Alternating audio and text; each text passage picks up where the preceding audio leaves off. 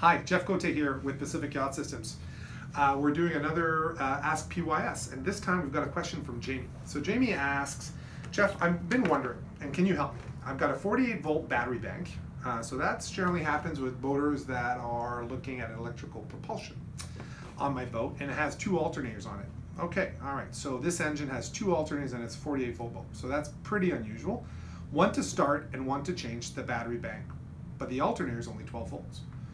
So obviously the engine battery is most likely 12 volts, um, and the starter is probably 12, and the alternator, one of them, well both alternators are 12 volts. And the question is how do you recharge a 48 volt battery bank if you've got 12 volt alternators? Can you put a DC to DC basically converter to charge from a 12 volt alternator to 48 volt alternator?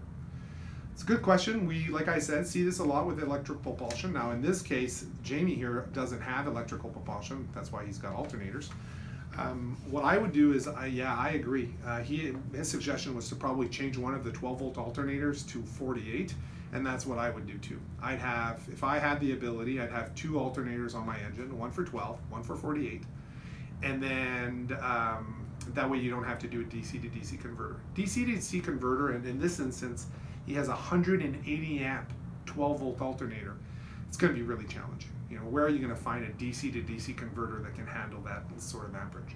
Like when we do DC to DC, it might be 20, 30, 40, 50, 60, but 180 amps is just over the top. So it's way better to just go straight 48 volt from an alternator directly to a 48 volt battery bank.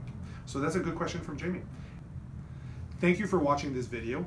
If you've got further questions and you're wondering about your own boat, please ask questions below or send us an email with your questions and we'll get to them hopefully as soon as possible.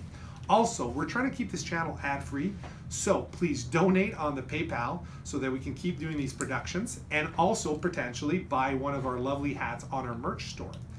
Uh, if you haven't done so, please subscribe to our YouTube and get our weekly updates. We're posting about four videos a week right now. And also, thanks for watching.